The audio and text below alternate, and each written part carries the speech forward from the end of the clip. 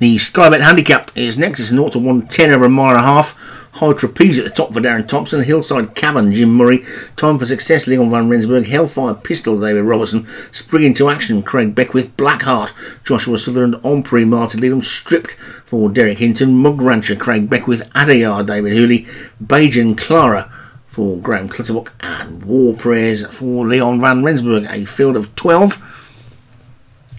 And our final race of the day here at York. Gray will take you through the final three races of the day at Windsor. I think it's Windsor.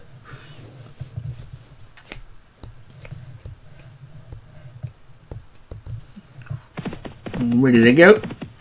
And away they go. A little bit slow out was Adayar, also Hellfire Pistol.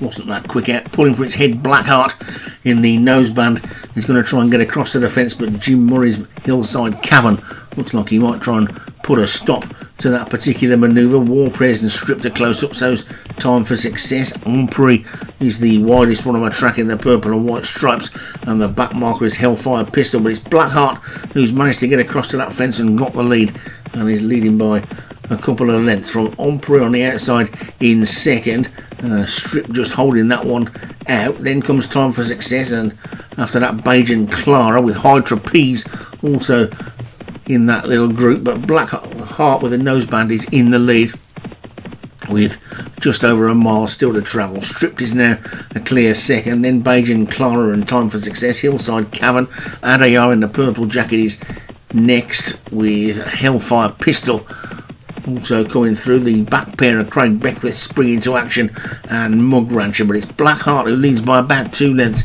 to Stripped in second and Bajan Clara third as they race away from us and they'll shortly be heading towards the bottom part of the track. But Blackheart is in the lead then by about three lengths or so from Stripped in second, Hillside Cavern on the rail is third. Then the purple jacket of Adayar, Leon van Rensburg's tour next.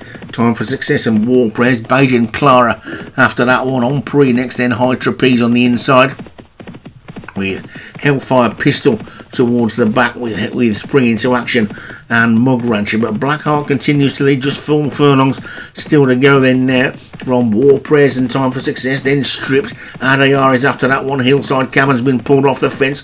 Ompree is wider on the track. Then Mug Rancher is one who's making some good ground from the back. But Blackheart continues to show the way then with two and a half to go.